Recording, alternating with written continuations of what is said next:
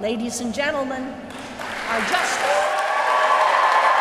Mere days after Justice Janet Protasiewicz was publicly sworn in. What an awesome day for the state of Wisconsin. And with it, liberals taking control of the Wisconsin Supreme Court for the first time in 15 years, the fallout.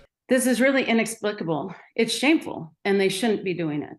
Chief Justice Annette Ziegler today, part of the court's conservative bloc, publicly blasting the new liberal majority after the four justices Friday voted to eliminate power from the Chief Justice and shift it to a new committee. And they basically took every place where it said Chief Justice, gutted it, and put a sham committee in its place. Is this now their ability, though, since liberals do have the majority? That's a really good question. You know, I've been on the court since, well, for 16 years. And in that period of time, there have been different majorities.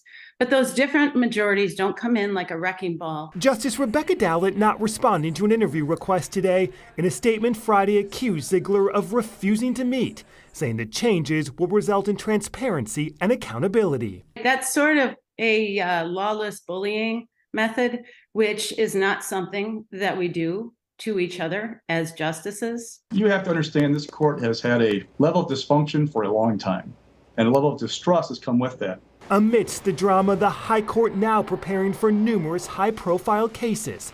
Justice Brian Hagedorn telling us exclusively on Upfront. I hope voters will see that, that we will grow as a court that builds a culture that is applying the law. So that's my hope for us.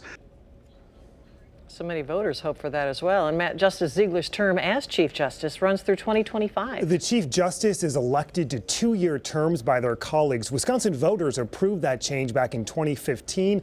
Before that, it was just the most senior member of the courts, Joyce. Political Director Matt Smith live in the newsroom.